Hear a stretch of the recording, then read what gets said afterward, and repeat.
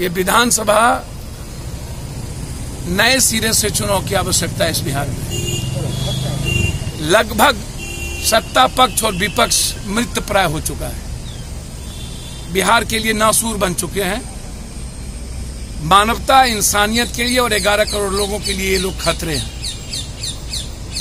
नए जनादेश की आवश्यकता है, जो हालात हैं बिहार के, विधानसभा में सिवाय राजनीति के क्या कभी सकारात्मक बहस होगी?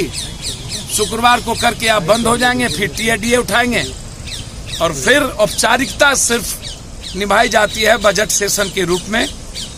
दो लाख तीन हज़ार करोड़ का बजट पेश करते हैं ढाक के तीन पात।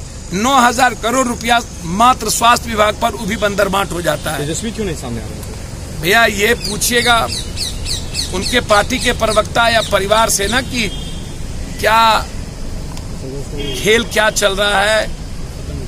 किस कोने से, किस कोने कौन कहा गुट गुटुर कर रहे हैं?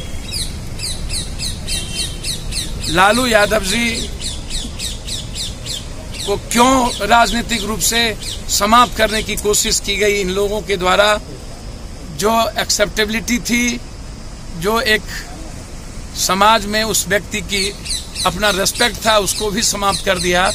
तो विपक्ष के बारे में मैं क्या चर्चा करूँ? मैं इतना कह सकता हूँ, दया आता है कि इन लोगों ने जातियों को जिस तरीके से इस्तेमाल किया, और आज भी इन लोगों को लगता है कि सेवा या मौत या बिहार या लॉ एंड ऑर्डर या बलात्कार या लगातार हत्या, ये हम राजनीति करके ही संख्या बल जुटा सकते हैं सोशल इंजीनियरिंग करके। आम आदमी की सेवा विपक्ष और सत्ता पक्ष नहीं करना चाहता है, उसकी आवाज़ नहीं बनना चाहता है। मैं सिर्फ़ इतना कह सकता हूँ कि विपक्ष को सदन में नैतिक ज़िम्मेदारी नहीं है, जिसने साढ़े छह सौ लू और मुजफ्फरपुर की घटना के कुपोषण के मौत के बाद जिसका परसेप्शन ही मृत प्राय हो गया हो। जिसको क्या राजनीति में ज़िंदा रहने का अब कोई रूट कॉज है? क्या विपक्ष आपको लगता है? मुझे लगता है कहीं ना कहीं कोई गेम प्लान कोई बड़ा खेल चल रहा है। बिहार की राजनीति में मुझे लगता है निकट भविष्य में आपको बड़ा उलट पुलट दिखेगा। शायद ये नीतीश कुमार जी से ही वो सीखे होंगे कि किस आत्मंथन करके या किस अंडरग्राउंड में या कौन सा बड़ा गेम हो रहा है तो वो तो उनसे पूछिए।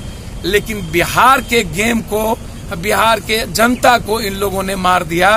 इन लोगों पर अब भरोसा और उम्मीद बिहार की जनता को सदन पर इस विधानसभा पर नहीं रही, इसलिए नए जनादेश की ज़रूरत सांप और नेबला की लड़ाई, चूहा नूरा कुश्ती की लड़ाई जदयू और बीजेपी के बीच चल रही है।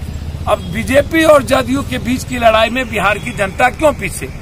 सरकार और विपक्ष यदि खत्म हो गया तो बिहार की जनता कहाँ जाएगी? इसलिए हमने गवर्नर साहब के यहाँ हम आए थे कि बिहार की जनता को भगवान भरोसे मत छोड़िए। बिहार की जनता को किस्मत और नियति के भरोसे मत